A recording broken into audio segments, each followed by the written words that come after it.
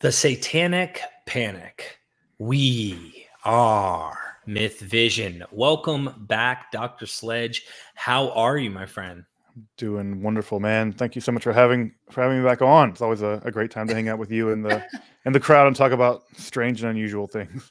Yeah, this is going to be an, a, a very interesting one. I figure I might as well let people know a little bit about you. I almost wanted to just skip to your education because I'm on your website, uh, justinsledge.com forward slash bio, listening, you know, reading what you have here. Dr. James Justin Sledge was born and raised in a proud working class Mississippi family. He learned the fundamental value of labor from his father, who was a pipe fitter, and a crucial importance of an unwaged labor from his mother. A first generation college student, Dr. Sledge earned his undergraduate degree at Miss Millsaps College. Am I saying that properly? Mm-hmm.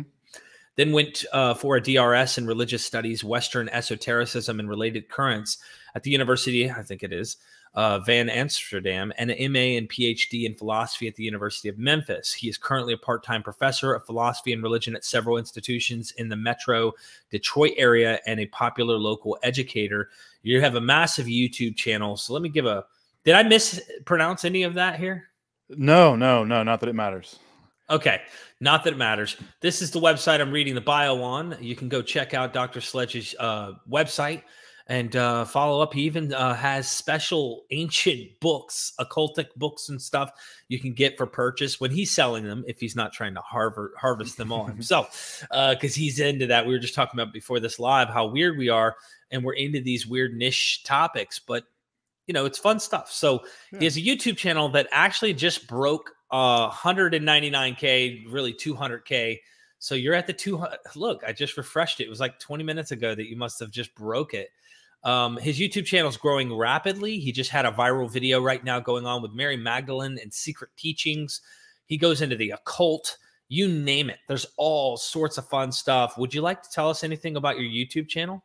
Yeah, so what I work on is uh, uh, what is called the academic study of Western esotericism. So things like alchemy, Kabbalah, magic, the occult. Uh, but again, approach from a uh, from an academic point of view. So the channel's not, I don't know, cluttered over with conspiracy theories and crazy stuff. So it's uh, it's weird stuff to be sure, but again, always from an academic and a scholarly perspective. So we cover a lot of uh, know, pretty obscure, pretty arcane things, um, and uh, we, but we do it from a from an academic perspective. I enjoy that. I mean, you've confronted crazy ideas on this channel, even like up front. And, you know, uh, we delved into bigotry within uh, Judaism, which is mm-hmm. like, you know, that's a tough discussion, to be honest with you, especially post Holocaust. But uh, we we absolutely confront these ideas head on and we discuss the good and the bad. And in fact, you point out like the good and the bad, even in your own traditions that are um, what people want to highlight. But uh, when when people are obsessed, those red flags seem to stem up. Even for me as a non-Jew, I'm like, hey, something's not right here, dude. Like, why is everybody being like this towards these people? Uh, anyway, go subscribe to his YouTube channel and check out his website. We also uh, encourage people to join the Myth Vision, uh, become a member of the channel do you have a membership option on yours? I don't know. I, I think that the primary way that uh, folks can support uh, Esoterica and support my work is uh, by taking a look at my Patreon. So, uh, okay. so if folks want to check me out on Patreon, they're more than welcome to to do that there. Well, if you become a member member, and I hope that you start it too, if you're going to do more live streams, Doctor Sledge, um, and I think maybe comments do this as well. When you're a member of the YouTube channel, you have a special tag mm-hmm. which makes you elect. Okay it has nothing to do with being a chosen race. It has to do with being chosen in general, right? We're, we're reinterpreting things here. Um, and so please become a member of Myth Vision's YouTube channel if you want to be an elect one. Also, on the Patreon here, I uh, give you guys heads up, early access to things. I've done three edits so far of 12 videos I did when I went to Boston to interview Paula Fredriksen. Nobody's doing this. Nobody. I mean, like, I'm not going to say there aren't interviews out there, but like if you go look up Paula Fredriksen videos, you're going to find old interviews she did with like news reporters, or you're going to find videos on colleges that she gave lectures at. Never like, hey, I'm in her apartment interviewing her, asking her whatever questions I want, diving deep. So help us out on Myth Vision. We have a lot of stuff, hundreds of videos. John J. Collins, Joel Baden, Elaine Pagels. Like I have like probably 30 videos that I have not released to the public on my Patreon with Elaine Pagels, just to give you an example. We also have the course on ancient Greek mysteries. I mention this each time. Samothracian, Eleusinian, Orphic Dionysian, Isis Osiris, Poimandres and Corpus Hermeticum, And and of course, Christianity. Paul uses mystery language. You might want to see um, what a scholarly approach to this subject is rather than just zeitgeist. Oh, Christianity is just a copy or a complete borrow, and it's just a mystery cult. There's a lot more to that than what meets the eye. So it takes a lot of skill and effort. Also, finding Moses with Bart Ehrman. Now, there's my shameless plugs, but I'm not ashamed. So I don't know why we call it that. Hey, no, it's uh, no, we have to keep the lights on, and uh, this is great scholarship, Derek. You do a really great job. You and Neil both do a fantastic job of uh, of of really getting the uh, getting scholars out of the ivory tower and getting them into uh, spaces like YouTube, where popular education is desperately needed. Mm. Because as I, I, tell my other uh, scholars, look, if we're not uh, populating YouTube where people really want to get knowledge, what it's going to get populated with is insane people. You know that firsthand. Yeah. from being on that. YouTube. Right. Not just from seeing other content, like the kind of questions and comments you you and I both receive 24/7 yeah. reflects the reality that conspiracies and all sorts of wild stuff, like what we're going to talk about today, right. runs rampant. And today we're going to talk about the satanic panic. But see, there's something unique about you for those who haven't seen your YouTube channel on this topic. It's not just that you know about the satanic panic, it's not that you just know about the occults and you know about the secret teachings and Gnosticism and you name it. Okay. All of the different secret society kind of ideas. It's you were actively involved in some of this controversy that has happened when the satanic panic was spreading like a wildfire on the news. Yeah, so, I was, a, I was very much a victim of the satanic panic, and that, I want know, to hear about this. In yeah. fact, I was hoping that, that, we could get into this. I know it's very s- sensitive material, but it's important people understand what is the satanic panic. So the Satanic Panic is uh, a name given to a general moral panic that began uh, in the early 80s, 1980s, primarily in the United States. And the general idea was that there was a vast uh, international network of Satanists uh, that were using um, daycares, heavy metal music, Dungeons and Dragons, and um, and other kinds of things to basically re- recruit people into this vast network of, of, of Satanists. And this would include things like um, uh, doing satanic rituals, sacrificing babies, uh, uh, assaulting children, um, a whole wide range of things that were going on, uh, allegedly. And uh, as this went on, this became a very popular topic on daytime television. Uh, this became the subject of books and documentaries, documentaries. And eventually, what came out as uh, sci- scientists and scholars began to study it was that there was no evidence for any of this. That uh, people began to basically spin yarn. And in all of these cases, in these uh, many different daycare facilities or uh, in the heavy metal music or in Dungeons and Dragons, they never found any evidence that there was mm-hmm. widespread satanic ritual abuse happening, uh, et cetera, et cetera. So basically, it's a moral panic in the same way that uh, there have been moral panics around all kinds of things through history. But it is a, a specific moral panic on the idea that there is this network of Satanists throughout the world that are causing people to to join uh, the satanic organization and do all kinds of bad things. So uh, so that's the general overview of what it was. We can get more into the granular aspects of how it actually developed and how it also leans on historical ideas that come from the Middle Ages. And so, in many ways, a lot of the ideas that really were built up into the Satanic Panic are actually coming out of the medieval witch hunts and, and things like that. So, there's survivals of those things. But of course, the panic in some ways never totally ended. Uh, the modern version of, of course, is the QAnon conspiracy theory that uh, also holds the idea that an international conspiracy of right um, Satanists or elites are are uh, involved in uh, sexually assaulting children or harvesting the adrenochrome from their bodies or something like this. So it's a rehash of wow. these kinds of ideas that actually reach back to the Middle Ages. It's it's really mind-boggling because when I don't know the origins or how this developed, I'm curious to learn about that from you today, if possible, and also what involvement uh, you had with being a victim of this situation. I think of it as propaganda, right? Because I'm I, I don't know the inner details that actually are involved. Like someone might look at the Apostle Paul to give you an analogy and say, "Oh, this guy's in it for power. This guy's in it for money. He doesn't even believe what he's doing." I think that's false. I think this guy actually believes what he's doing, what he's saying, whether it's right or wrong or true is irrelevant. Um, and one could still say it's somewhat propaganda. But in the in light of the satanic panic, I'm reminded of those commercials they used to have where they were anti-marijuana and they talked about how this the neighbor smoking pot or rape, you know, and go mm-hmm. and and rob and run into your house and do all this stuff. And it's like, no, like this is propaganda.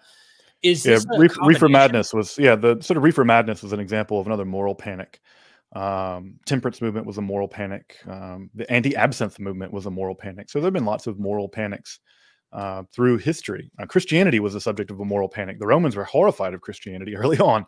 Uh, they blamed all kinds of things on, on how bad Christianity was.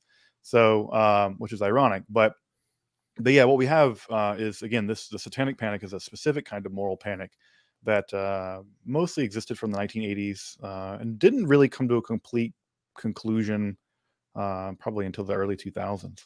So it's 20 year long panic.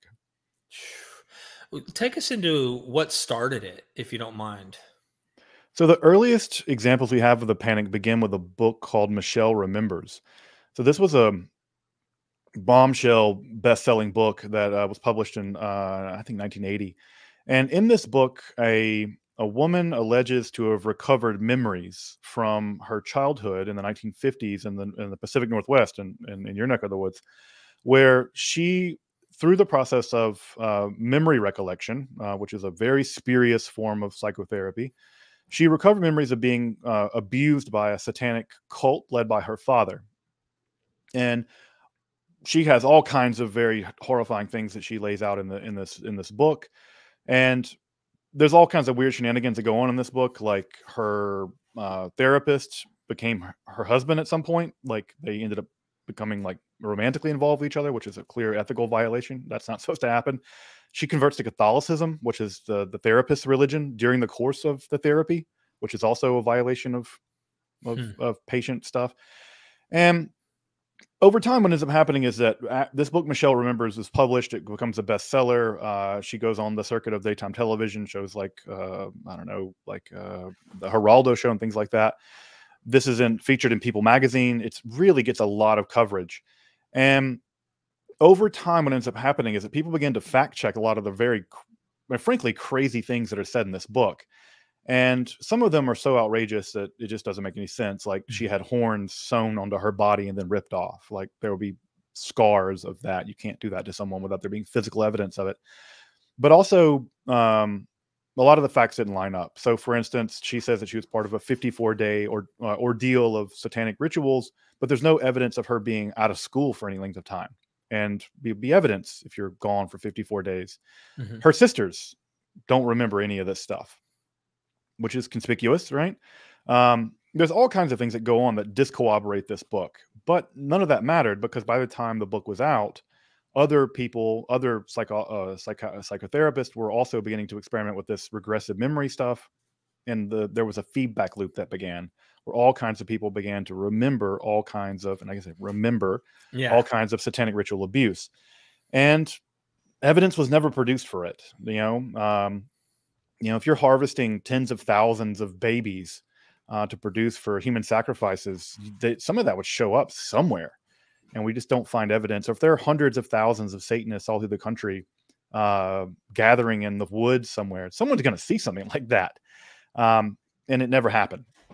And so the panic really begins there in the early 1980s, uh, and it spreads from the Pacific Northwest uh, out through the rest of the country and eventually kind of goes all over the rest of the world. Um, and there are big, big localized versions of it, like the McMartin, um, McMartin Child School, uh, child uh, care scandal, where basically an entire um, uh, an entire uh, child care facility was arrested and charged with engaging in child molestation under the guise of Satanism, and uh, they were eventually acquitted.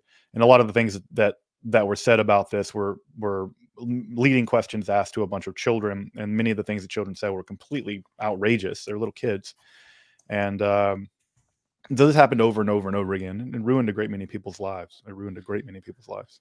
I'm reminded of a video I did a while back with a psychologist about Savannah syndrome, I think it was, or some. I can't. Um, I'm having a hard time remembering Havana, maybe.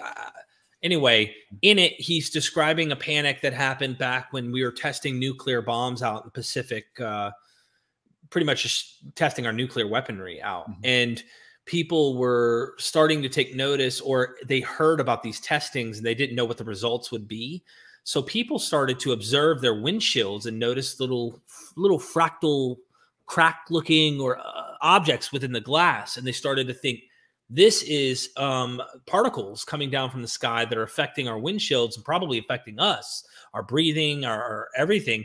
And they started panicking and started sharing it out it went on the news. People started saying like hey the nuclear weapons are causing issues and our windshields are starting to show these visible things. But when they scientists looked at the actual factories that made these windshields, they realized like in the process of making the windshields, this is what the production is, right? So this false alarm started spreading and everybody started calling 911 hey my windshield has it too like everybody starts thinking this bad thing and i don't know what that is or what that technical term is in how we would label that when humans in general run with this kind of superstition in their mind that they think is true, but it's not. Yeah, it's a rumor feedback loop, is what we call it actually. Um, rumor feedback loops are where uh, once a rumor begins to get going, um, it's actually really hard to stop it because once people become, once people are afraid of something, whether it's radiation or the, the devil, um, when someone comes out and says, "Hey, I think we need to think critically about this and gather more evidence," that's a really unpopular position to take. Right. And uh, and so when law enforcement, other kinds of things would would do that, uh, they were very unpopular. In fact, it would the um, during the Satanic Panic in the 1980s, mobs would form, and they would just say, "If the police aren't going to deal with these Satanists, we're going to deal with them," and they would just threaten to rampage through towns and gather up anyone who was listening to heavy metal music or the nerds or the guys playing Dungeons and Dragons or, or whatever or if you just didn't go to church or if you're you know uh, whatever you could really be in a situation where a, a crowd could could le- legitimately threatened to you know threaten to do violence in your town and this happened repeatedly during the panic so um so yeah the law enforcement often gave in to these rumor feedback loops and uh, they would bring in occult experts uh, most of these people had no actual academic degrees they were basically preachers who had studied sometimes even medieval witch hunting manuals and um, uh, and basically became overnight experts in the occult. And these people be on national television telling everyone that there are hundreds of thousands of Satanists all through the United States doing X, Y, and Z. And you know, why wouldn't people believe that if it's on television and being repeated over and over and over? I will say that um, one of the main people that spread this um, conspiracy theory were was Geraldo Rivera, um, and he actually ruined many people's lives with this kind of stuff. And ultimately, uh, he did apologize for it in 1995. Uh, he had to, he came out in public and said, "Yeah, I was wrong about all that. I really stoked the fires of something that ruined people's lives." And mm. he subsequently apologized. Of course, that didn't undo the damage that he had done. Right. But um, but yeah, it is interesting how these rumor feedback loops can go, and uh, the Satanic Panic being being an example of of uh, one of them. I'm I'm a little blown away by all of this. So I'm gonna ask. We're gonna get into your personal situation if that's okay. Mm-hmm. But before we do, I I found it. Someone reminded me in the chat, and they said it's uh hysteria, and I'm like, oh, that's right, that's right. So I found the video that I did, and uh, with the person I did this with. Uh, it was a very interesting episode where we dove into this. Let me hold on, let me share it like this, just to play the intro because this is the kind of stuff Look that you would this. imagine. It is a site that has spooked many people in different parts of the East County. Near El Cajon, some neighbors are calling him Chupacabra after the legendary creature. Ladies and gentlemen, following on the news given in our bulletin a moment ago, the Government Meteorological Bureau has requested the large observatories of the country to keep an astronomical watch on any further disturbances occurring on the planet Mars. In seconds. What? Oh, oh, oh, oh. Is it a shape shifting object? Is it Bezos? Is it Branson? What is it? Is it a UFO? G'day everyone, artist Wayne Dowsett here, and it's time to weigh in on the Bigfoot phenomenon.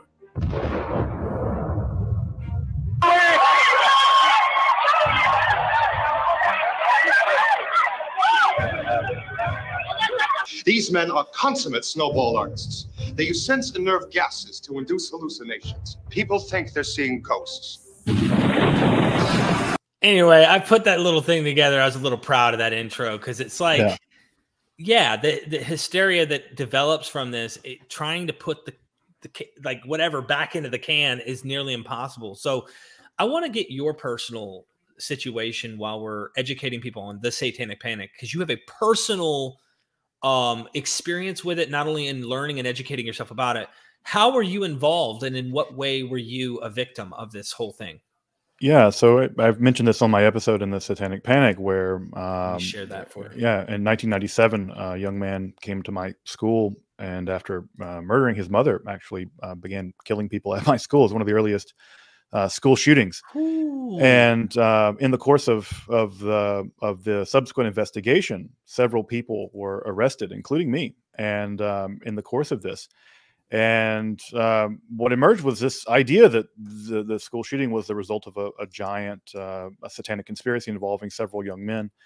And over the course of uh, a year and a half uh, during the the investigation, there were very serious charges uh, levied against me and several other people.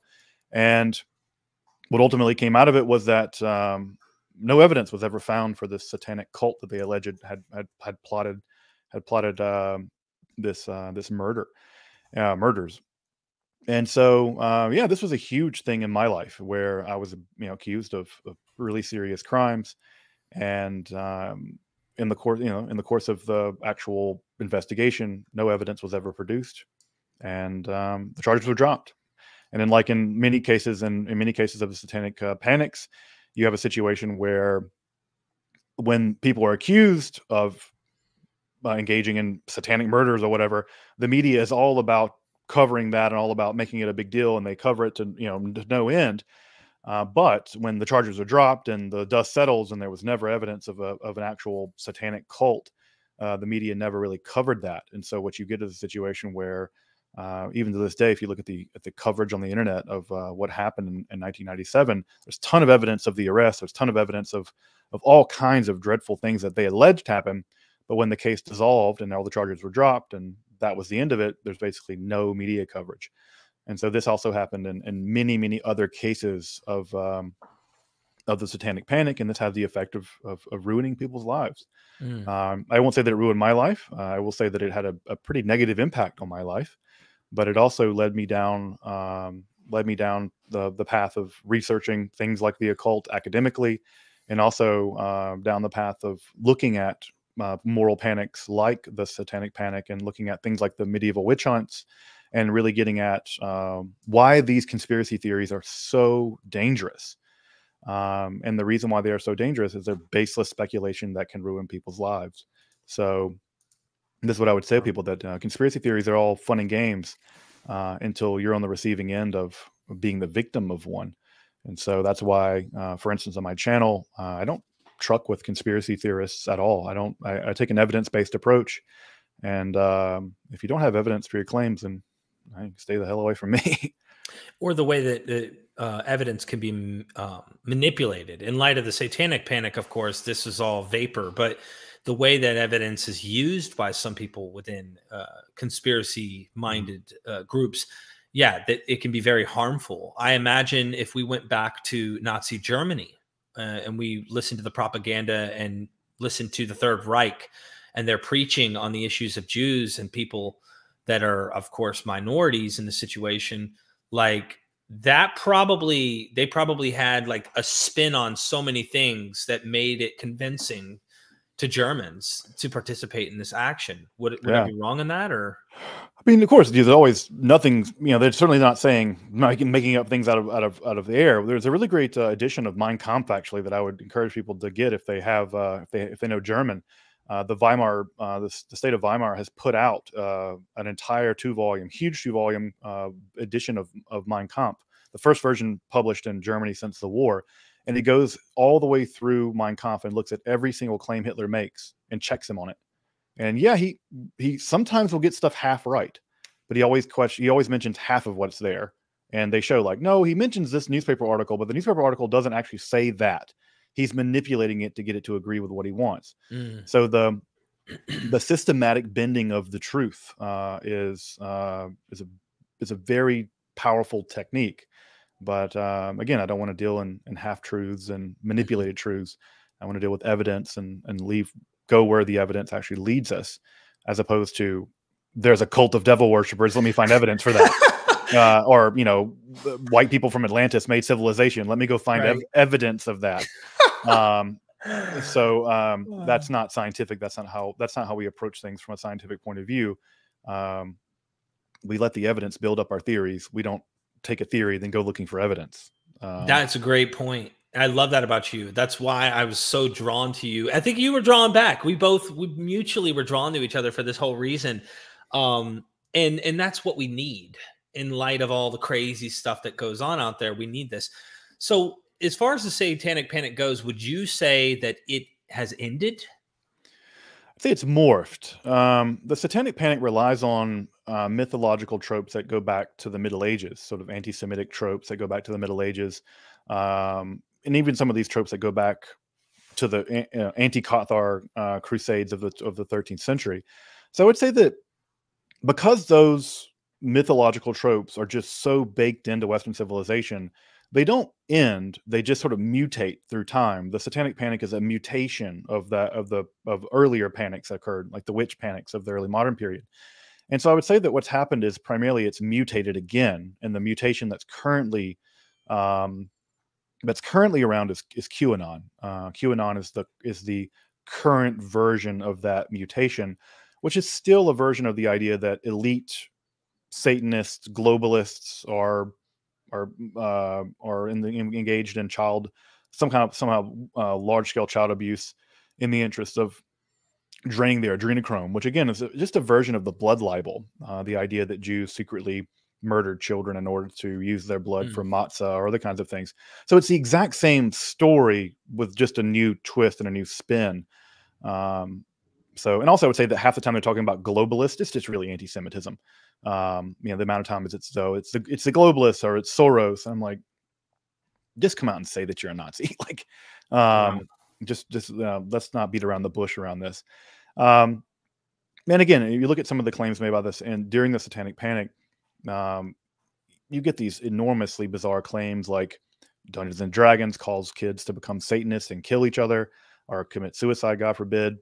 There's no evidence for that, and there's evidence to the contrary. Role playing games actually um, foster pro uh, cooperative behavior. Um, in fact, people who play role playing games are actually contraindicated for criminal activity. it's like literally the opposite of what they claimed. Um, you know, I'm pretty sure you remember the days where they said that there was all kinds of backwards talking and heavy metal music Yep. that made people do stuff, right?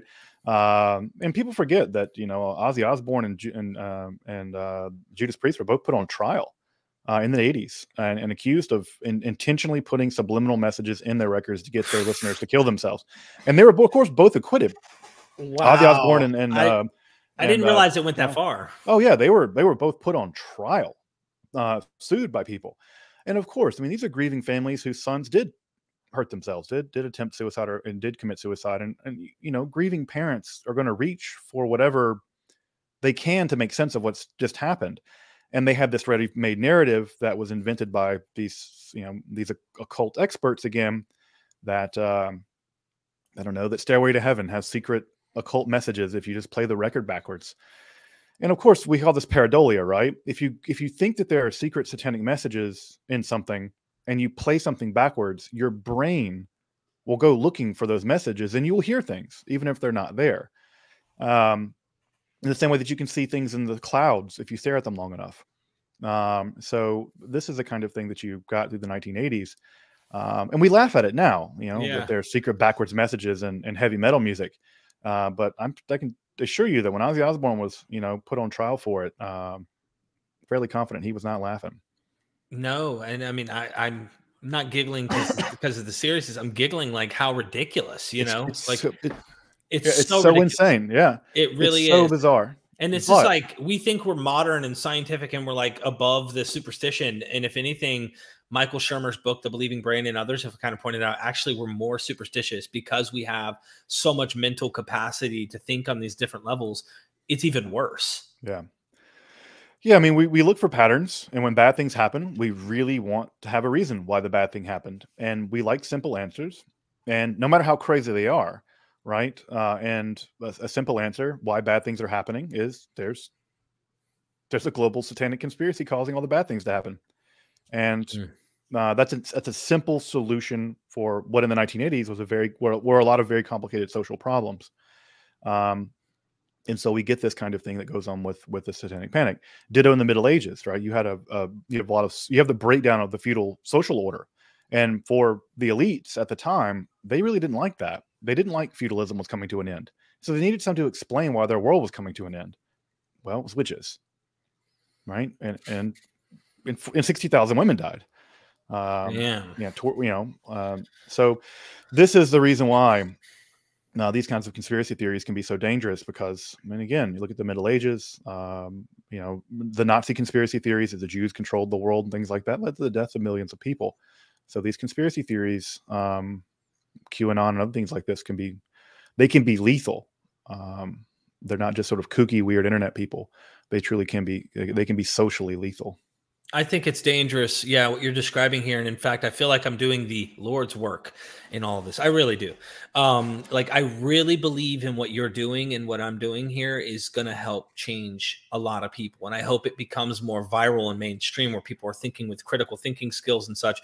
You, I, I emailed you because I was excited. I said, "Hey, check it out! Look what I'm doing. I'm having an an Mhm. expert coming to give a presentation to debunk the Khazar myth, like the Yeah. idea, you know, because that's all filtered into this whole thing that you're describing about rulers, and they're not like if if if Jews aren't the rulers, then technically, well, we don't even know if they really are Jews. They're all Europeans, and it's just a bunch of uh, nonsense that I'm I'm interested in debunking. So, Oh yeah, I mean, I, I get I get the Khazar stuff constantly on my channel. I'm, you know, people tell me things like, "Oh, anti-Semitism isn't really around anymore," and I'm like, "Let me show you the amount of stuff I have to delete from the comments on my channel uh, on a on a weekly, daily basis." right, Uh, I'm like, "No, you're you're delusional if you think that anti-Semitism is, is gone away. It's it's taken other forms, but it's certainly not uh, certainly not gone away." Um, and again, I think that's the first conspiracy theory: the idea that Jews, as a group of people, are somehow responsible for the execution of Jesus um, and therefore they're corporately responsible because of that line of Matthew, right? Let his blood be upon our hands and the hands of our children, and therefore Jews as a population could be targeted um, for all the bad things that were happening in in Europe. You know, you see that idea play itself out in the Middle Ages uh, again, in, in very lethal, very lethal ways. Mm. Real quick here, super chat from Klaus. Thank you so much for this super chat, my friend. I really appreciate it. How does it feel to have Satan off your back? It's got to feel good. What is your favorite heavy metal song? I don't know, man. What's your favorite heavy metal, heavy metal song? Heavy metal. When I'm when I think of heavy, I'm thinking like extremely heavy. Mhm. Um, and I would probably place that in either Slipknot or Mudvayne. Um, I like Dig. Dig always grabbed my attention. I I also like some of Slipknot. Um, but I, I don't know if I could like put one song. Yeah, it's hard, right? It is hard, but it, that's heavy. Like, and that's almost like the furthest heavy, I guess. Well, there is deeper. Don't get me wrong. Right. You can Yeah, I listen. I listen. Yeah, I listen. Yeah, Right, Cookie Monster music. Right. Um, yeah, I listen to a lot of, of black metal, but I have to say that I, I- I mean the song that always comes to my mind is Black Sabbath by Black Sabbath. Every single metal song is ultimately derivative of black. You can like you can find every other heavy metal song in utero somewhere inside of the song Black Sabbath by Black Sabbath. So I always tell people it's sort of like the the Q source of uh, of of black metal or any kind of metal music. So I don't know if it's my favorite, but I think it's the most Im- important. So I would say that probably Black Sabbath by Black Sabbath. Although these days I'm mostly more of a black metal um, fan. I think maybe my favorite black metal song would be "I'll Lay My Bones Down" by "Among the Rocks and Roots" by Wolves in the Throne Room. It's like a nice. 14 minute long masterpiece. Uh, so I do like Tool. Someone brought up Tool, and, and I love Schism. Tool Schism is one of my favorite because it's just so poetic. It's almost Yeah. like another Metallica one or um, a Hotel California by the Beatles kind of feel to me. Tool has this kind of a experience that you get when you listen to it. Um, yeah, yeah, I love Tool too. I, I'm not sure I'm a big fan of Tool fans. I don't. I, I think I, I'm- think the joke I always tell is that I would I would love to go to a Tool concert if it were only populated by Taylor Swift fans. right? Um, yeah. So- Claus says Cookie Monster music. LOL. Thank you so much for the uh, super chat, asking a really uh, funny question, good fun question, actually. Um, as far as the Satanic Panic goes, this is this was a very hot thing. Was there anything during the time this became viral that was another conspiracy theory that was kind of simultaneously existing, almost like COVID 19's first um, the first virus, you know, vaccine covers its first, but there's there's kind of spin-offs that have come from it. Is there anything like that as far as the satanic panic goes?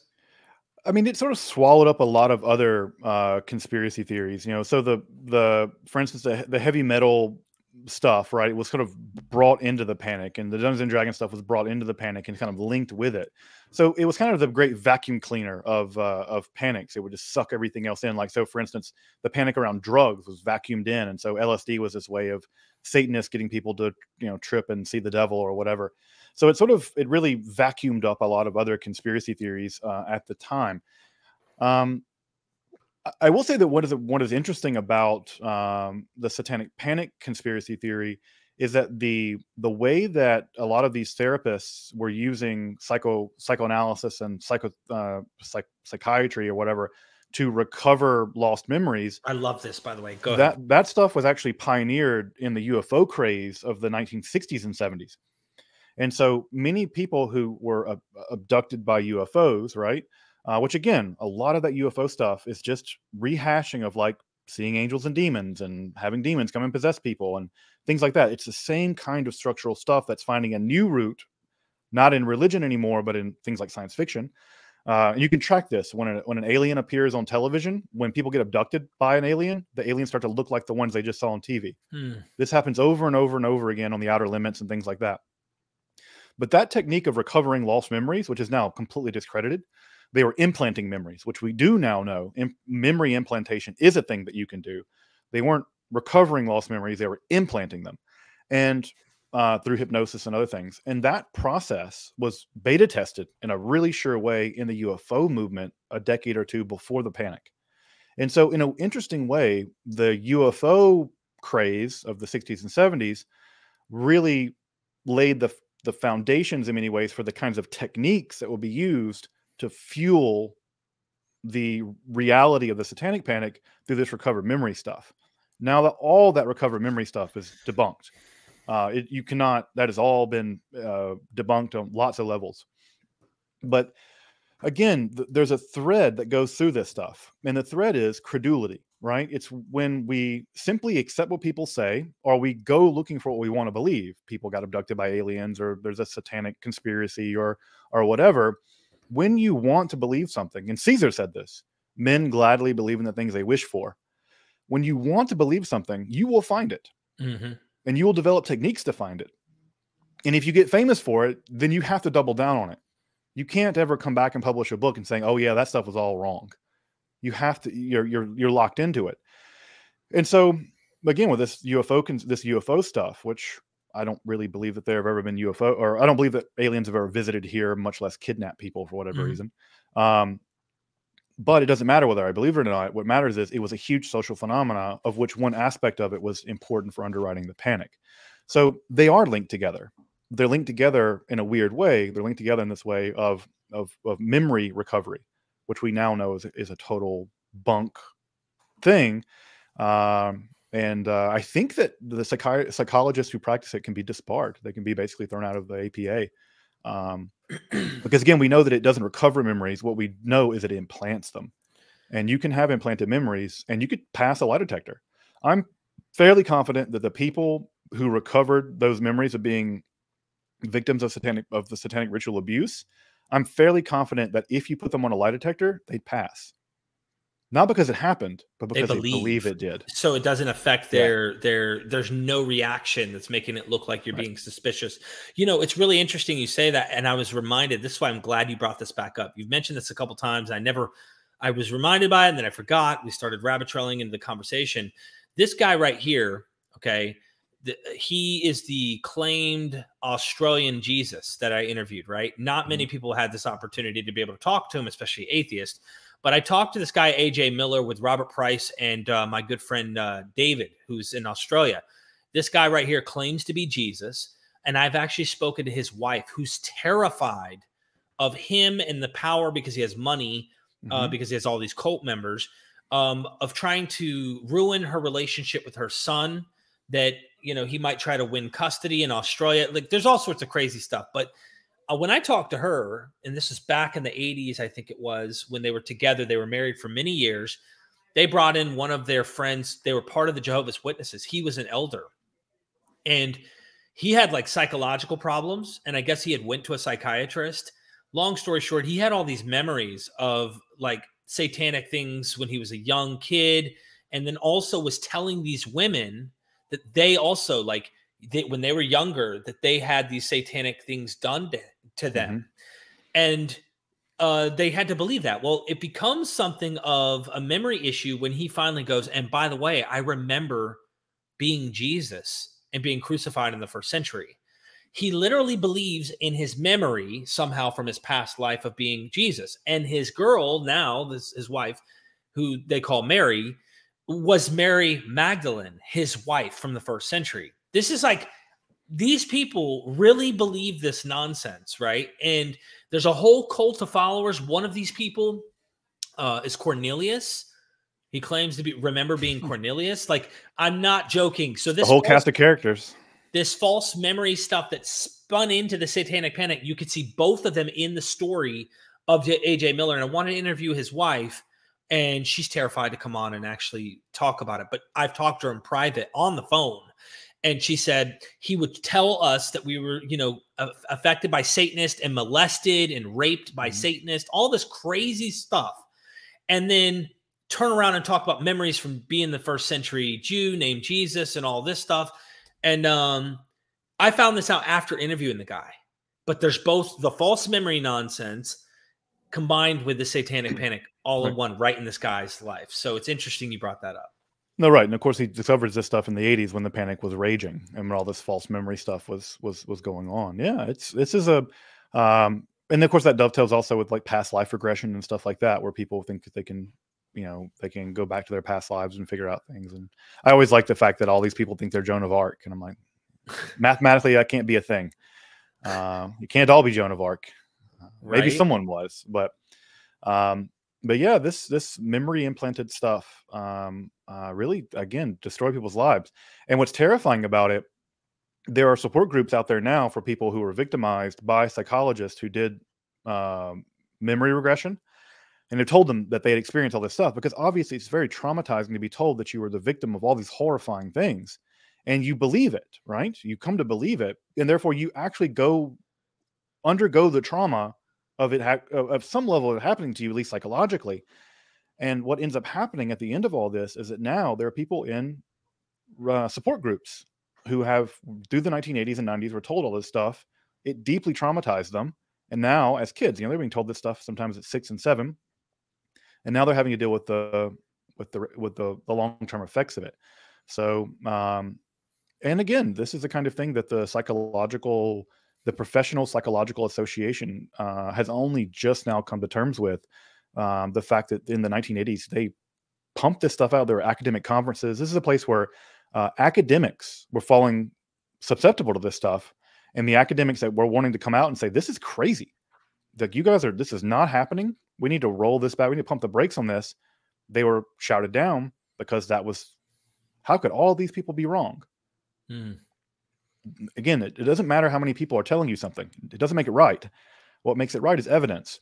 And the psychologists were saying, oh, we must believe these people. We must believe victims when they tell us what's going on, as opposed to saying, look, if you had six kids and these kids were sacrificed to the devil, you would show biological signs of having been pregnant, of having had kids. There's no biological evidence of this. Hmm. So what, you know, so again, the, the what's important part of all this, right? What's important in all this is we have to take a multitude of, of evidences and then look at the preponderance of evidence. Because if you look at one data point, you can always find weird data points. The Mhm. question is, what does the preponderance of evidence tell us? And if the preponderance of evidence tells us, yeah, this person is testifying to a very strange thing, let's go look for evidence of it. Where did the where did these satanic where did these rituals happen? Take us to the place in the woods where it happened. You know, wear a bug and talk to the old Satanists or something, right? Like give us some evidence for this. Yeah. And the problem, of course, is that no evidence was ever was ever forthcoming, and that's not because people weren't looking for it. There are true believers out there today who desperately want to believe, for whatever reason, the Satanic Panic was real, and they hire bulldozers to go dig up old daycare centers looking for tunnels underneath them because kids said that there were secret tunnels beneath daycares where they were uh, assaulted, and they're still out there digging up, you know, parking lots looking for tunnels, and they're not there. That's wild. Um, something that came to mind. uh, let me get the super chat real quick here. Uh, Anubis Fire, thank you so much for that super chat. I really appreciate the support. Satanic panics seem to stem from Protestant resurges. Hmm. Thanks, guys. So one of the things that is worth mentioning, um, the in the in, during the panic is the rise of the moral majority. Folks from the 1980s. Uh, again, I was born in '81, so I don't remember a lot of this. But this is also the same time period where the moral majority um, and Pat Robertson and those kinds of people were really making a huge push into politics. And one of their arguments was that the world was about to end, and this is a period where Satan is going to be the most active, and therefore, again, it dovetailed with the panic, right? That um, we as Christians need to become mobilized in politics because Satan is getting so powerful now. And there's been a decline in Christianity in the 60s and 70s. We need to reclaim America as a Christian country, which you still hear people say. Um, and so it dovetails with that kind of Protestantism. Although I will say that in general, the Satanic Panic wasn't a big deal in the Catholic Church. That is to say, um, um, the Catholic Church was not so. It was it was more immune to the panic, and part of the reason why is because the Catholic Church has a very a really thick hierarchy, and if you make claims about you know you being a devil worshiper, they're going to investigate it. They have actually investigative bodies to figure that stuff out. Whereas in uh, local Protestant churches, there's no central authority, and so individual churches can kind of go on sprees. Mhm. Um, and so, in general, the Catholic Church was more immune to the panic, but of course, the Catholic Church was also dealing with their own problems in the 1980s with this widespread uh, pedophilia stuff, where they just were shuffling pedophiles around the church and and and um, and not doing that. Now, I'm not saying there weren't people abusing children, and I'm not saying there weren't people trying to be devil worshippers or occultists. Not that occultists are all devil worshippers. What I'm saying is there wasn't a conspiracy of these things, right? The church, certainly, children got uh, molested, just like they're you know unfortunately being molested now. Right. The question is who was doing it, and the issue wasn't what who was doing it and who's not doing it. Folks, know, I'm sure know this. The the um, when children are abused, the most likely abuser is a family member, not a random stranger danger person, and certainly not a vast occult group of Satanists. So, uh, yeah, the question is where does this stuff come from? And of course, children are being abused. That happens at all times and all places. What wasn't happening was that it, it wasn't the result of a widespread satanic um, conspiracy. Satanic cabal or something. Yeah. So, so th- this brings us back to your personal experience with the guy from your high school. And I don't, if you're not comfortable, you know, going into anything, just feel free to let me know. But as far as this guy, when they when they finally pulled the evidence out, what did they determine about him? I mean, was he just not right mentally and was murdering people? I mean, was he a serial killer? What what was this all about? And then how did hmm. that how did they disconnect once they investigated this that from the satanic panic? So it's a good question. So it, appears that um, there were two layers of what happened. One layer is he, he killed his mother and he killed his ex girlfriend and her one of her friends, and then he shot randomly into into the school where I was. And the, the when you look at his first confession, there's no mention of any occult stuff at all. And then he gets these lawyers, and then all of a sudden, all this occult stuff comes out. They basically had the devil made me do it kind of defense, right? Mhm. Which were, those defenses happened in the 1980s. Um, and what we, we what we get is we get this story that he begins to dabble with the occult, and somehow that's tied to these murders. But what ends up happening is that as the trial goes forward, as the trials go forward, all of that stuff basically gets gets dumped, um, and the charges get dropped, and the charges get dropped, and the charges get dropped until eventually this question sort of lingers: What role was any of this devil worship playing in, in any of this? And when you look at the preponderance of evidence, it doesn't seem like much, if anything, at all. In fact, one of the more interesting things about it is that uh, when all of us were in were arrested and put in jail that first night, uh, we had to introduce ourselves to each other because most of us didn't even know each other. Now it's really hard to be in a conspiracy with people you don't know, but that's the sort of first sign we were like, this is something's really crazy here. And then the police started, you know, interviewing people, and they realized like these guys don't even know each other. Like, what's happening here? And it's hard to put together a satanic conspiracy of people who don't know each other. Mhm. And so that was the first major chink in the chain that said, "Oh, this is just crazy, right? This this stuff is not actually uh, not actually real." And it took a- it took a year and a half before because you know once police charge you with a crime, they really want it to be true because otherwise they look really bad when they have to drop a bunch of charges. Um, it took about a year and a half for it to eventually go completely away. Uh, aside from the, the the young man that did the actual killing, he obviously Mhm. was sentenced to life in prison. Um, but what's fascinating about that about that process is that um, they held on as long as they could until basically a judge was like, "You have to put forward some evidence." And when the, by the end of it, what we found out was that the the guy that actually did the killing, um, in one of his subsequent confessions, was like, "There's no, these guys aren't involved in this." He even said they're not involved in this, and they hid the evidence Go figure. right? Because you know this is. Dan- eh, I mean, literally, if we went on trial, we just called him to the witness stand and be like, "Hey, was there a conspiracy of Satanists?" He was no. And That'd have been the end of it. And so it took that.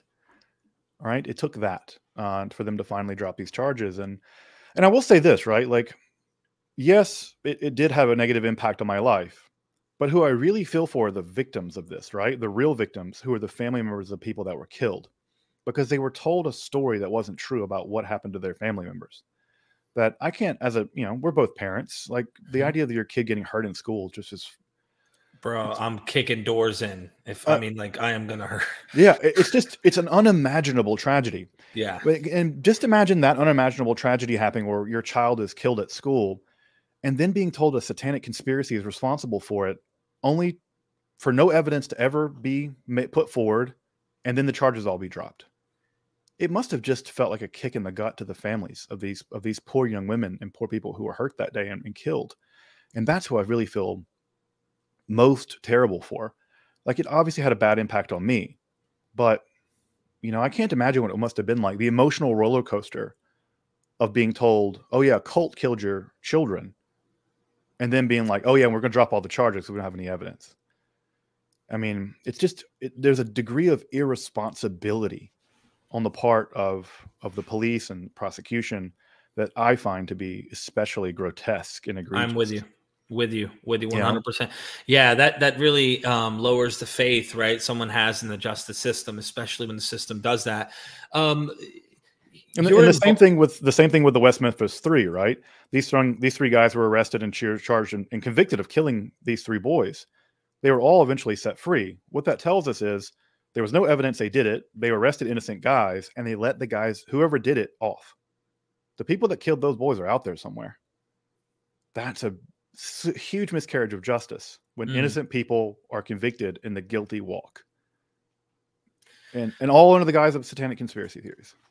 That's wild. I'm glad you brought that one up as well to kind of remind people the your involvement. Do you think why did they involve you? Were you part of like a, a, a, a Dungeons and Dragons group? Like, what was your? Why would they look at you and go, "Ah, he's suspect for Satan"?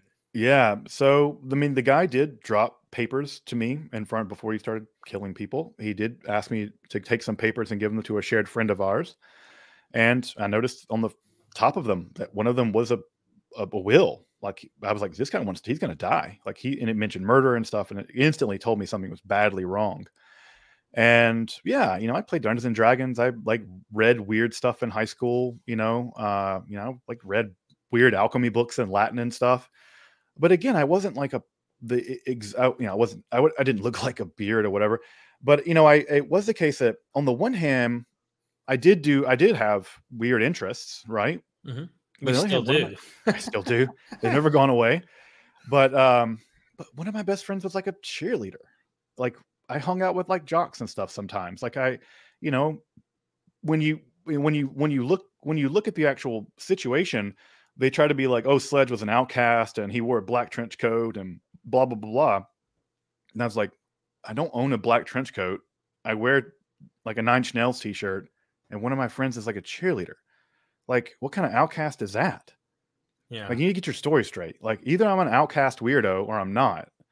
Like, which one is it? And again, the story they, they would they would tell a story, and it wouldn't make any sense, and they would tell another story, and they would tell another story, and these stories eventually got ramped up to the point where, you know, these guys are involved in in devil worship, which is a bit hilarious considering that you know, like at the same time they were accusing me of devil worship, I was at the synagogue learning Hebrew, and like Judaism doesn't even have a devil, like like uh, this does the story doesn't make sense right? And so um ultimately what ends up happening is that, uh, they had to uh they had to let they had to the charges are all dropped and um not as much as an apology not as much as a sorry about that Right. So- I'm I was thinking of this guy right here, uh, just to give people an idea. He was a, uh, a serial killer, um, Richard Ramirez. Yeah. Uh, for those who've never seen him, and supposedly a Satanist. In uh, and did he play any role that you know of historically in the Satanic Panic? Yeah, so there, there's a group of, um, and you can also see uh, a, a fellow named Pazuzu in there too, who was also a serial killer. Mo- mo- most scholars actually refer to those guys are as pseudo Satanists. They learn about Satanism from movies, or they learn about Satanism from um daytime talk shows, and they imitate it. Um, so you know, actual Satanism, as founded by Anton LaVey, is an atheistic religious movement that has uh, that doesn't believe in God or Satan at all. Actually, it's a it's a hedonistic uh, uh, belief system that doesn't actually involve belief in any gods.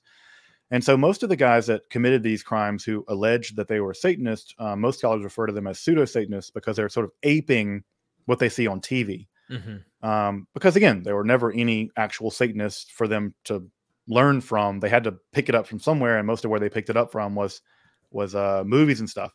And so, again, if you see that famous image of Richard Ramirez having the the pentagram in his hand, Yeah, yeah, yeah. um, he's taking that from the the Church of Satan. Yeah, that that the third image to the left there on the bottom.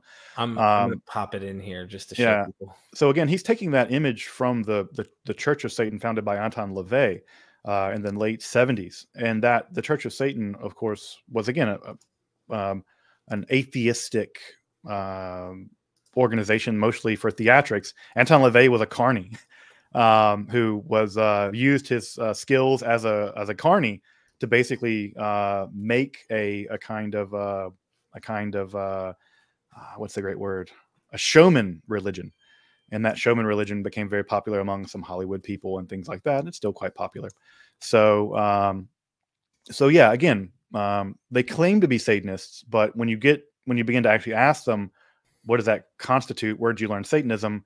Um most of them learned it from from movies and television shows so again like i said most folks refer to that as pseudo satanism I, I figure I wonder if that played any role in light of what was going on with the Satanic Panic. Oh, it certainly amped it up. I mean, when you have the Son of Sam or other people saying that they're a part of a satanic organization, or even Jeffrey Dahmer setting up a weird altar or whatever, um, it played into it, right? It was grist for the mill of the people who were like, "Told you," right? But then you try to connect Richard Ramirez or Jeffrey Dahmer or the Son of Sam to a larger, you know, uh, a larger cult, and it doesn't it doesn't work, right? Much less to I don't know Black Sabbath or Led Zeppelin or or whatever. Um, and there's Jeff, um, who's I think the second biggest Netflix show right now. That's what I Uh, was. of I was going to bring it up because of its popularity right now. It's like Yeah, I started watching it and it was getting nighttime. And look, I don't believe in the boogeyman, but I also my anxiety. I couldn't handle watching how that show built up. Hmm. the the neighbor smoking a cigarette, listening to some grinding noises where he's using the drill and there's blood dripping down and there's a skull or a head in the fridge. And like I'm just sitting here going, Oh my gosh, you know, but I imagine this would have played right into the satanic panic. of course. This is of course in the early '90s. I mean, and again, I don't believe in the boogeyman either, but I do believe in Jeffrey Dahmer. And we don't, you know, Right. I don't, I don't, uh, I don't need a boogeyman um, when we have people like that with people like that out there. And I think the FBI says that there are a hundred or so serial killers active at any at any moment, which is a terrifying Wow. uh, thing to conjure. But again, Jeffrey Dahmer, Richard Ramirez, the son of Sam, these were profoundly disturbed people, but they weren't part of a larger uh, satanic conspiracy. It's very important to separate between people who claim to be Satanists and who who do crimes, as opposed to the idea that they're part of a larger network or cabal of of um, of Satanists, of which there've been there's been uh, no actual evidence uh, for that. Thank And, you for you know, that. Or Jeffrey Dahmer or Char- Charles uh, Charles Manson or whatever. Yeah, yeah, yeah. And they they I think he tried to play into something, of course, as well. And he's st- Yeah, Char- Charlie Manson had all kinds of things. He had all kinds of screws loose. yeah. Uh Nadav uh Kravitz, thank you for the or Kravitz, thank you for the super chat. Any recs for how to address or prevent these panics? Yeah, Nadav, that's a great question. Um, if folks want to really read a really great book about this, um, um, uh, you may want to pull this up if you don't mind. Uh, there's a Yeah. great book called Satanic Panic. Um, let me find uh, the author's name real fast. It's Jeffrey something. It's slipping my mind. Um, you can pull it up on Amazon or whatever place you buy your books. Um, so let me get his All right. name. Uh Jeffrey S. Victor. Yep, Jeffrey S. Victor. Yep. So th- there's a great book called uh, Satanic Panic. This is the best study of the panic you can get. Um, at the end of his book, the very last chapter is precisely what you asked for, uh, Nadav. It is a uh, detailed step by step guide for media, law enforcement, religious leaders, and civic leaders about what to do if a panic like this begins to emerge. And it is a step by step guide how to get in front of a rumor, how to encourage crowds of people to think critically as opposed to and give in to rumors, how to separate, how to tell experts from non experts when it comes to uh, satanic panics how to um, how to stop the spread of rumors right through transparency et cetera et cetera so uh, victor's a sociologist and so what's really great about his study here is that he studies it not just from a historical point of view but he also studies it from a sociological point of view in terms of who believes this kind of thing? Who's more likely to believe it? How do they spread? If Hmm. they spread how do they what kicks them off? What makes them go away? So he gives a very uh, really insightful deep dive into understanding them as a sociologist as a societal uh, like a mental virus. And the question is how do you stop a mental virus? You quarantine it right you expose it to things that will like get rid of it and so he approaches it that way and at the very end of his book which I'm, there's not an automatic uh, thing where you can see the book here unfortunately but at the end of his book he, he has uh, a, about a 10 page chapter kind of step by step going through uh, the entire process of what to do if a panic like this begins to emerge in your community. And I think it, um, the advice that he offers is is very, very, very sound, very sound advice. Wow, I'm trying to zoom in.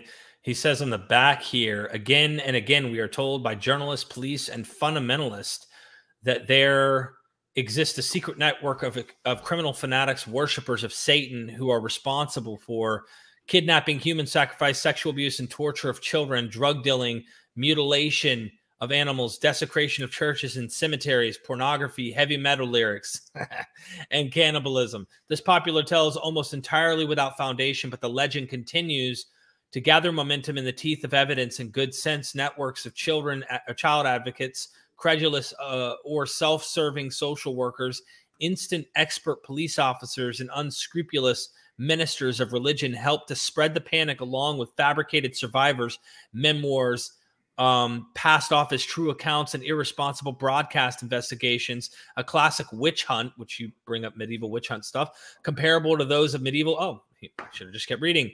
Is underway. In, innocent victims are smeared and railroaded. Satanic panic uncovers the truth behind the satanic cult hysteria and exposes the roots of this malignant mythology, showing in detail how unsam- unsubstantiated rumor becomes transformed into publicly accepted fact. So it, it goes on. Of course, this is really. Ooh. It's a great book. I really, I said, I really would highly recommend it. And and for me, I will say that reading it uh, was really cathartic. You know, when bad things happen to you, just like I said earlier, when bad things happen to people, people want a reason for it. And it's hard to believe a random bad thing happened to you. And sometimes that happens, but sometimes there is a reason why. There is a there is a larger story. And when I read the book uh, many years ago, um, I remember thinking to myself, "Oh yeah, like what happened to me happened to hundreds of people, thousands of people."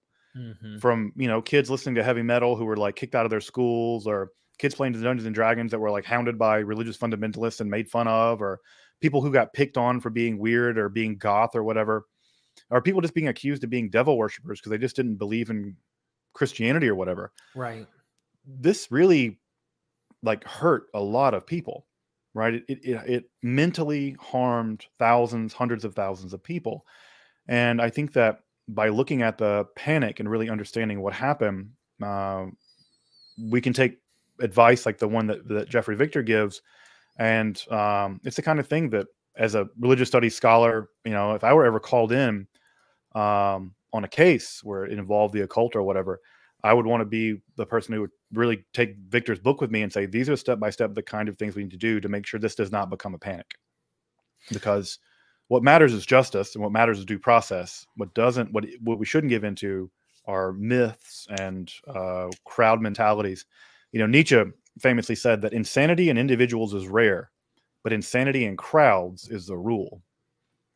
And so I think it's important to note that, yeah, individual people might not believe in this, but once you get a crowd of people together, the rumor spreads really quickly and can cause a, a lot of harm.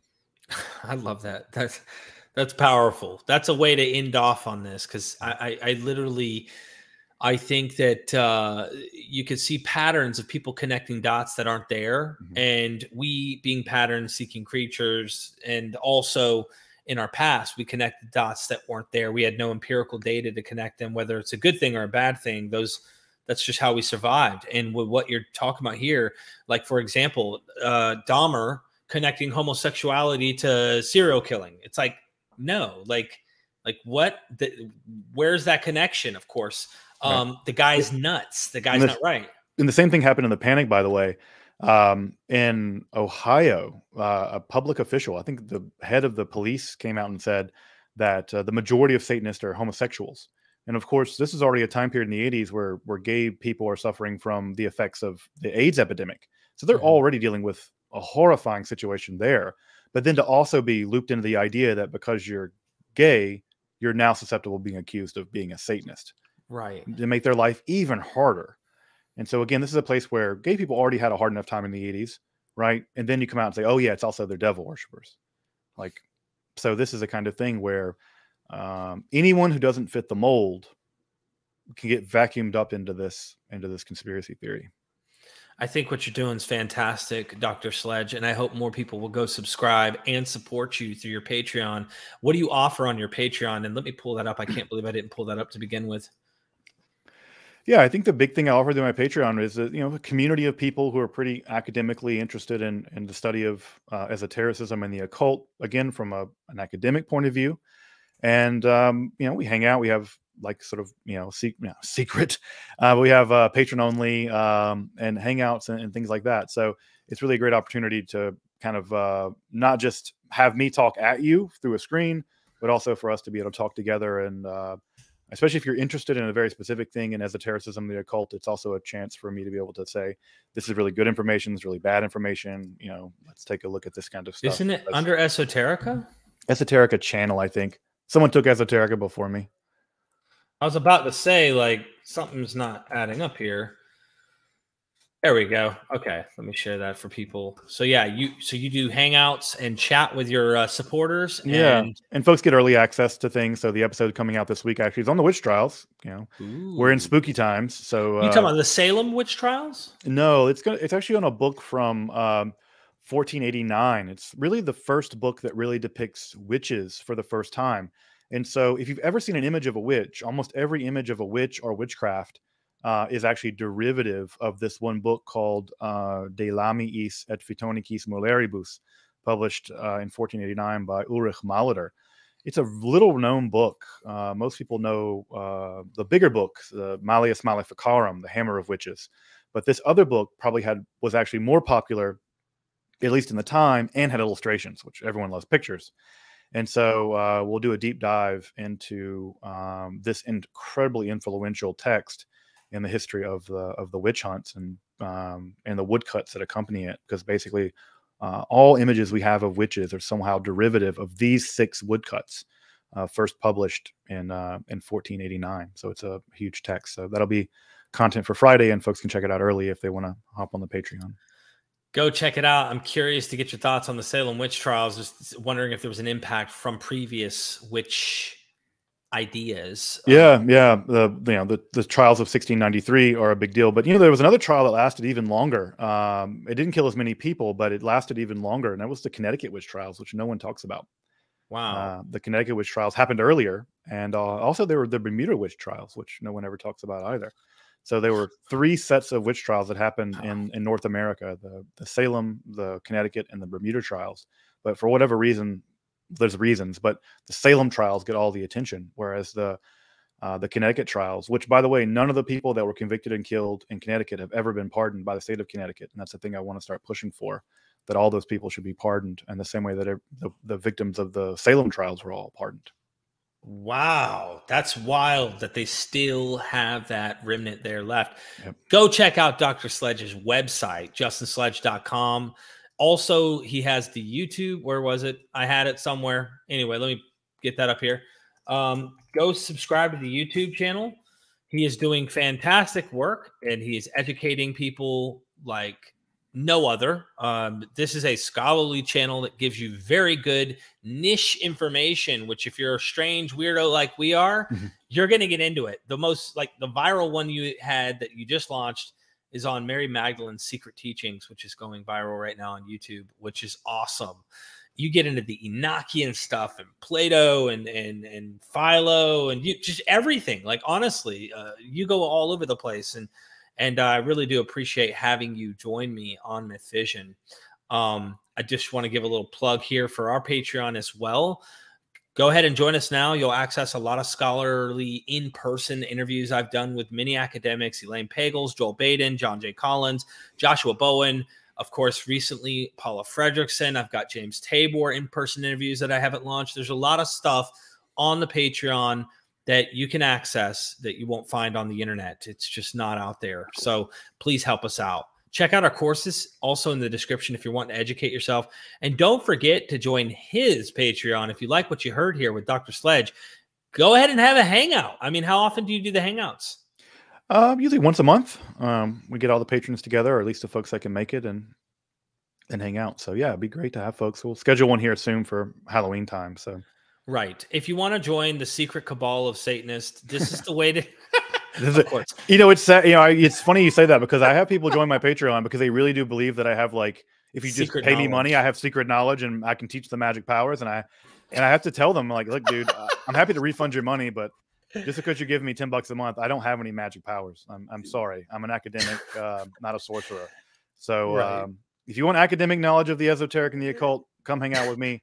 But uh, I'm sorry, I don't have any secret Kabbalah witchcraft to uh, get you a girlfriend or anything. I don't, I don't have it. That's that's exactly why they join. Now, if you want to join Myth Visions, I have that kind of power. I'm yeah, join, yeah, join Derek for that stuff. Look, I seriously appreciate you, Justin, every time. I also appreciate you for taking the hard questions and going into the hard topics like the last one we dealt with, because we were dealing with certain anti Semites, if you will, people who are actually like haters. You could see the motivation, you could see the drive, and it's obvious when you start to mm-hmm. investigate. Like nothing you said was enough. So you're debunking horrible ideas and by simply pointing out yes there's bad yes there's ugly even today um, but then you're also pointing out that not everybody thinks the same way within judaism for example or any other place you might go. So let's get people educated because i feel like our best option is to get people to think critically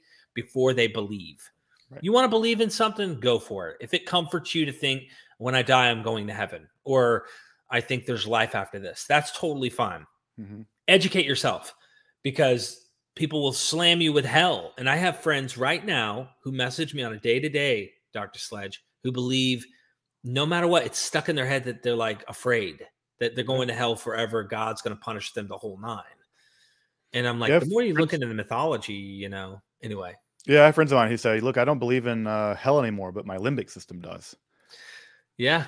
You know, and uh, I have friends of mine like that who grew up in fundamentalist churches and things like that. So, yeah, you know, I, I I don't have a lot of interest in criticizing, but I have a lot of interest in educating, and I think that um, our society flourishes, democracy flourishes when we reject conspiracy theories, we reject credulity, we think critically, and we Mhm. suspend judgment when we don't have enough information. because I don't know doesn't get people killed. Right. you It know? doesn't. I- it doesn't. I don't know, but I know, and that gets people killed. That I is. know. And so for me, it's uh, um, it's all about me just being, yeah, I don't know. Here's the data. Here's what we know for facts, and this is Mhm. what we can derive from that, and being very being very provisional and very honest about what we do and do not know. Right. Real quick here, just to address a few people in the chat. Derek is tough on anti Semitism prior to his trip to Israel. Coincidence? Listen, I'm secretly meeting with the rulers of the world. You got to give me a break. Duh. Yeah. Hey, Um, uh, ask them where my check is. By the way, I've been looking for my uh, global Jewish conspiracy theory check. Um, me too. I haven't got one yet either. It's Yeah, weird. you know, I I, I need to. Um, I, I really would love to love to give them that s- you know, get my get my check for my being part of the vast Jewish cabal that controls everything. Exactly. No, I just honestly, when you weigh out the whole thing, addressing this idea, um, I hope this is sarcasm, but if it's not, that's kind of sad to me. Um, addressing this issue is like the more I look into it, the more I realize how ridiculous, just like the panic toward Jewish people, these ideas are. They blame Jews for the for Islam. They blame Jews for Christianity. They blame Jews, of course, for Judaism. And in fact, if you want to say Jews come from Judah, what I have found, li- listening to Andrew Tobolowsky and others, is they've just kind of Judah took the Northern Kingdom story and narrative because it's a much larger kingdom, and inserted themselves into this narrative. Uh, when the more you learn, the less these ridiculous ideas about you know the cabal of rulers of the world and stuff becomes. That doesn't mean there aren't harmful modern uh, ideas that come from rabbis and stuff like that. Sure, there's all kinds of jackass evil rabbis Absolutely. that will gladly Like- tell you that Gentiles are all evil and Yep. and uh, all the stuff. I'm like, yeah, like trust me, like yeah, there are all kinds of like bad actor rabbis. I I don't like those guys either. like, Like- this one right here. Look at this. The Kabbalah and the Zohar is hostile to Gentiles. Is it totally, or is that specific areas that you might find certain Jewish rabbis making sentiments like this? And do Yeah. we know why they're saying this? Exactly. Yeah. What's the historical context? Why, you know, what is it weird that Jewish people are are, are hostile to non-Jewish people in Spain in the 1300s? Right when they're being totally yeah persecuted. being Yeah. persecuted? Is that totally surprising? Uh, it doesn't justify it. It doesn't justify bigotry, but it, again, it says like, oh yeah, there's a historical context for this. Mhm. And again, if modern Jewish people want to lean on a 13th century text to justify their anti-Gentile bigotry, well, they can like they can just like screw off. like Mhm. I don't have any patience for that. I don't have any patience for uh for people using medieval books or ancient books as the way to justify their homophobia or bigotry. I don't care what kind of bigotry it is, whether it's anti-Gentile bigotry or anti-gay bigotry or right. or whatever. You can't hide behind your scriptures as an excuse for, for being hateful. I just don't have any patience for it. That's why I love you, dude. I love learning from you and enjoying your time and just getting into this stuff because we, we ethically we're on the same page. We, we we ultimately want the same things, and uh, yeah, I, I I go join his Patreon, go subscribe to his YouTube channel, and help support good scholarship. Any final words from you, Doctor Sledge, to maybe encourage people or Yeah, I would. I guess I would say when it comes to these conspiracy theories, whether they're anti-Semitic conspiracy theories, like you know some of uh, the the chat seems to be indulging in, or uh, or whether they're conspiracy theories like QAnon or whatever. Um, I think that skepticism is a really healthy thing to cultivate, and skepticism doesn't mean not believing things. It means withholding belief until you have good evidence. It just says I don't know, and so I would say that skepticism is all about the idea that one can say. I don't have enough evidence for this one way or the other, and I'm just going to withhold judgment about it. There's no moral there's no moral compunction to believe or disbelieve anything. Mhm. Withholding judgment, I think, is a very ethically sound thing to do. And admitting when you don't have enough evidence and saying I don't know is one of the most respectable things one can do. And we need to we need to normalize the fact that we don't know things. yeah, And we need to Yeah. respect when scholars say, I don't know, because that's the most, um, it- it's the most uh, respectable thing to say, uh, as opposed to, oh, that guy doesn't know something. He's not a good scholar. It's a sign of good scholarship when a scholar admits they don't know. I appreciate that. Yeah. I hope that will be something we practice. And if you do find bad things. You can cherry pick and find stuff that's absolutely bad. Keep in mind, not everyone who identifies with certain groups or particular religions or anything think the same way too. So there, there's a lot to investigate before drawing conclusions, and I'd be cautious of any conspiratorial channels out there that continue to propagate hate towards people who are a minority. Anyway, Justin, love you. Never mm-hmm. forget, we are Myth Vision.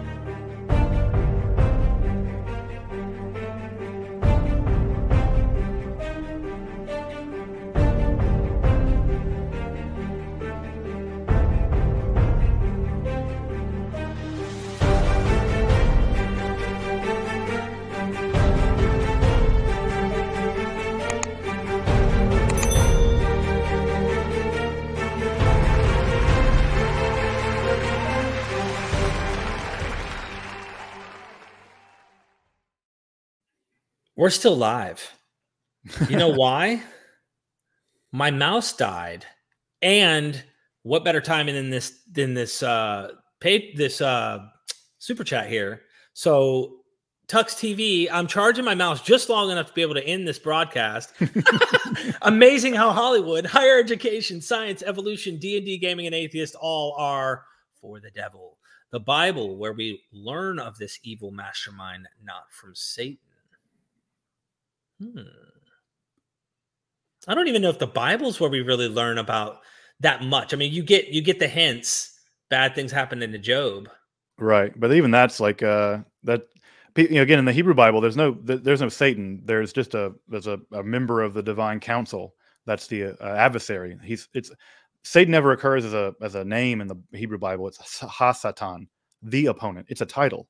Mhm. So he's a member of the divine council. So yeah, the concept of a of an evil devil character doesn't come along until Jewish apocalypticism much later and eventually into Christianity.